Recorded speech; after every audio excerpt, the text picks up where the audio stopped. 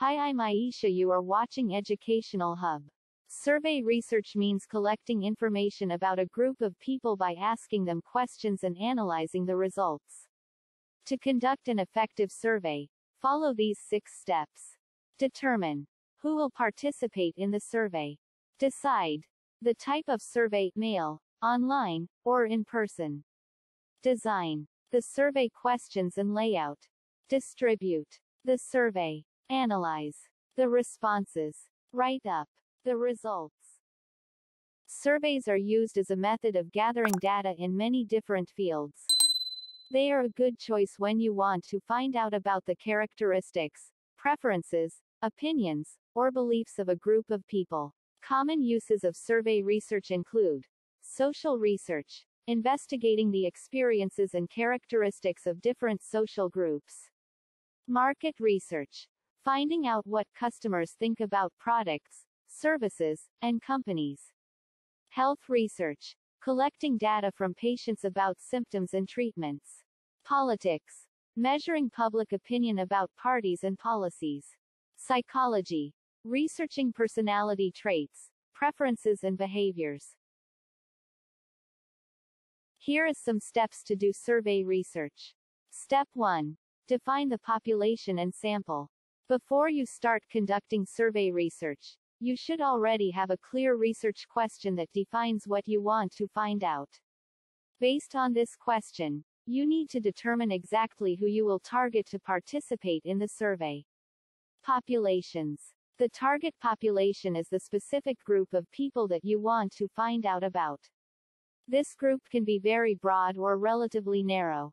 For example, the population of Brazil U.S. college students second-generation immigrants in the Netherlands customers of a specific company aged 18 to 24 British transgender women over the age of 50 years.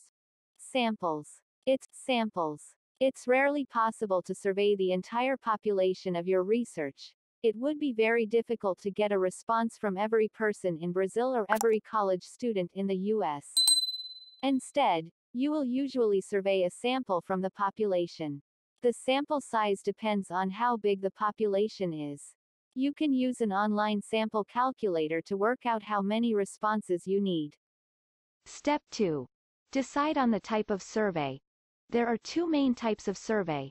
A questionnaire, where a list of questions is distributed by mail, online or in person, and respondents fill it out themselves.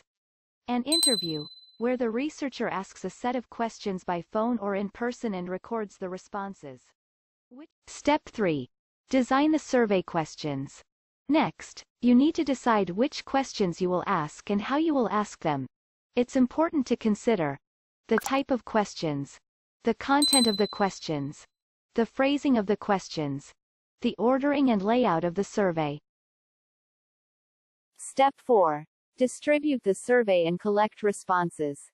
Before you start, create a clear plan for where, when, how, and with whom you will conduct the survey. Determine in advance how many responses you require and how you will gain access to the sample. Step 5. Analyze the survey results. There are many methods of analyzing the results of your survey. First you have to process the data, usually with the help of a computer program to sort all the responses. You should also clean the data by removing incomplete or incorrectly completed responses. You can also use more qualitative methods, such as thematic analysis, which is especially suitable for analyzing interviews.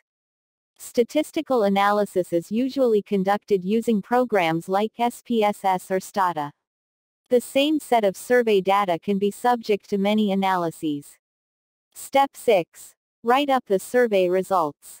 Finally, when you have collected and analyzed all the necessary data, you will write it up as part of your thesis, dissertation, or research paper. In the methodology section, you describe exactly how you conducted the survey. You should explain the types of questions you used, the sampling method, when and where the survey took place, and the response rate. You can include the full questionnaire as an appendix and refer to it in the text if relevant.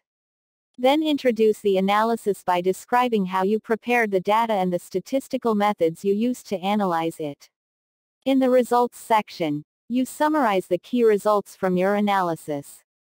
In the discussion and conclusion, you give your explanations and interpretations of these results, answer your research question, and reflect on the implications and limitations of the research. Thank you for watching. I hope you can easily understand that how to do survey research. Like share and subscribe my channel for more informative videos about research.